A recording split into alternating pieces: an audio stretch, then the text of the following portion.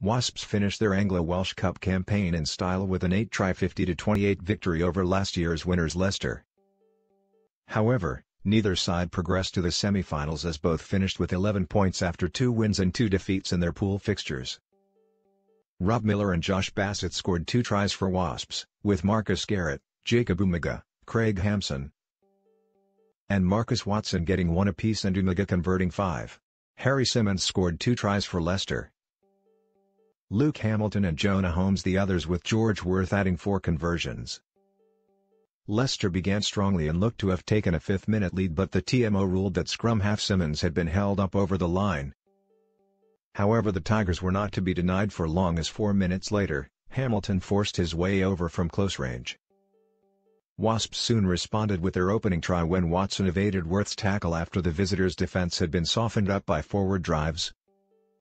Watson was again in the thick of the action when he then handed off Charlie Thacker to run 50 meters out of defense before Wasps recycled possession for Miller to score.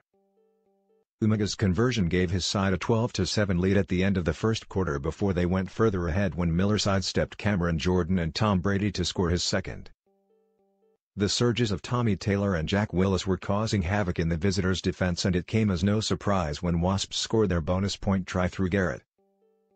Leicester rallied to score two tries in quick succession with the lively Simmons crossing for both as Wasps lost Garrett to the sin bin after the lock had tip-tackled Matt Smith. After the restart, Bassett returned from injury to replace Watson before Garrett returned in time to see James Seabrook send Hampson over for Wasps' fifth. Wasps' best forwards, Taylor and Willis, were both replaced before Umaga threaded his way through the defense to seal victory for the hosts.